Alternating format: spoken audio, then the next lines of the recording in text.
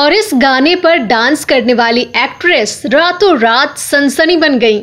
ये गाना 1971 यानी 1971 में प्रदर्शित फ़िल्म मेरा गाँव, मेरा देश का मुख्य आकर्षण था।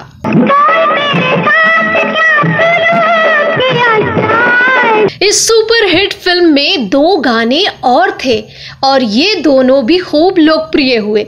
एक गाना ये था आया आया को बताऊँ। ये वो गाने थे जो मेरा गाँव, मेरा देश की कामयाबी के आधार बन गए थे। और इन गानों पर डांस करने वाली इस डांसर की अदायगी के सामने उस फ़िल्म की नायिका और उस जमाने की प्रमुख हीरोइन आशा पारेख की अदायगी भी फीकी पड़ गई। उस डांसर ने दर्शकों पर ऐसा जादू किया कि उस जमाने के कई बड़े फिल्मकार अपनी फ़िल्मों में उसे मुख्य भूमिका देने पर विचार करने लगे। लेकिन आशा पारेख, मुमताज़ और शर्मिला टैगोर सरीखी उस दौर की बड़ी हीरोइनों ने उस डांसर के खिलाफ एक मुहिम सी छेड़ दी थी। ऐसे में पूरी योग्यता होने के बावजूद भी वो बड़ी हीरोइनों की जलन की वजह से बड़ा मुकाम हासिल नहीं कर पाई।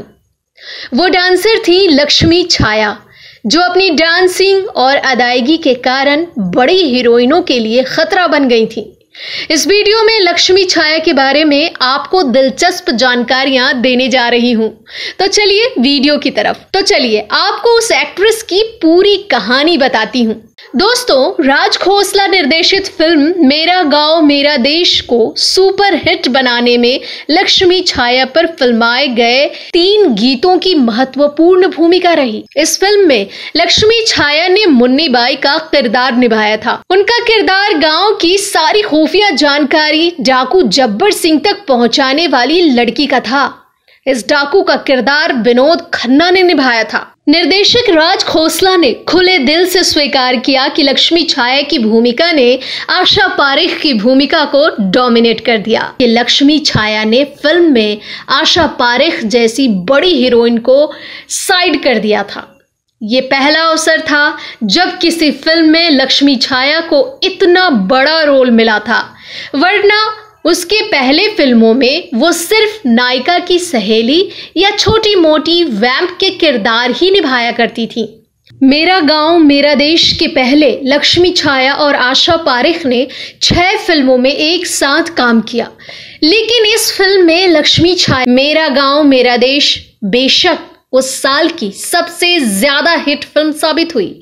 लेकिन आशा पारिख के करियर के लिए यह फ़िल्म सबसे ज़्यादा नुकसानदेह साबित हुई। मेरा गाँव, मेरा देश की शानदार कामयाबी और उसमें लक्ष्मी छाया की अदायगी को देखते हुए उन्हें आगे के फ़िल्मों में ज़्यादा स्पेस मिलने लगे। 1972 यानी 1972 में प्रदर्शित फ़िल्म रास्ते का पत्थर फ़िल्म में हर वक्त एक नशे में चूर रहने वाली लड़की के किरदार में लक्ष्मी छाया ने जैसे जान डाल दी। लेकिन बॉक्स ऑफ़िस पर फ़िल्म बुरी तरह फ्लॉप साबित हुई, जिसकी वजह से लक्ष्मी छाया को कोई फ़ायदा नहीं हुआ।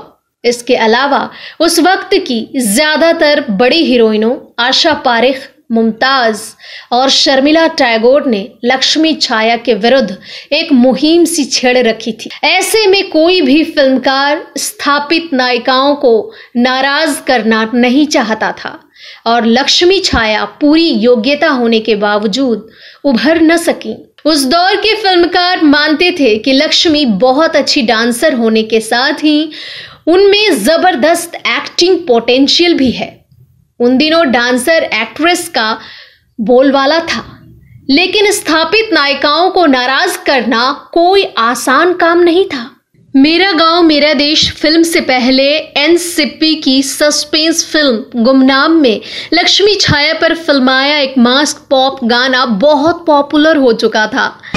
जान पहचान हो, जीना आसान हो। जान पहचान हो, जीना आसान हो। इस गाने को गाया था मोहम्मद रफ़ी ने। ये गाना 2001 में release Hollywood film Ghost World की ओपनिंग में जस का तस रखा गया। साल 1948 में 7 जनवरी को पैदा हुई लक्ष्मी छाया के फिल्मी करियर की शुरुआत शक्ति सामंता की फ़िल्म नोटी बॉय के साथ हुई, जो साल 1962 में रिलीज़ हुई थी। इसमें किशोर कुमार, कल्पना, सुलोचना ओम प्रकाश मदनपुरी, सुंदर जैसे कलाकारों के बीच लक्ष्मी छाया ने अपनी उपस्थिति को बड़ी आसानी के साथ दर्ज करा दिया। अख्तर मिर्ज़ा निर्देशित 1965 यानी 1965 में रिलीज़ हुई फ़िल्म मोहब्बत, इसको कहते हैं में, वो शशि कपूर और नंदा जैसे स्टार्स के साथ थी। और अपने काम और एकदम निराले अंदाज से उन्होंने दर्शकों को खासा प्रभावित किया। लक्ष्मी छाया ने तीसरी मंजिल प्यार का मौसम, नौनिहाल और बहारों के सपने सहित कुल 55 हिंदी फ़िल्मों में काम किया और लगभग हर फ़िल्म में उसने अच्छा काम किया। लेकिन इसके बावजूद उन्होंने अपने करियर में पंचानवे से अधिक हिंदी और मराठी फ़िल्मों में काम किया। लक्ष्मी छाया ने 1986 में प्रदर्शित फ़िल्म बिजली के बाद फ़िल्मों में काम करना छोड़ दिया। इसके बाद उन्होंने गरीब बच्चियों को मुफ़्त में नृत्य शिक्षा देने के लिए एक डांसिंग स्कूल खोल लिया। ये बहुत चला भी। लेकिन मुफ़्त में नृत्य शिक्षा देने के कारण आर्थिक रूप से वो लगातार कमज़ोर होती गई। लक्ष्मी छाया साईं बाबा की ज़बरदस्त भक्त थी। वो साईं बाबा पर टीवी सीरियल बनाकर अपनी अगाध श्रद्धा को अभिव्यक्त करना चाहती थी।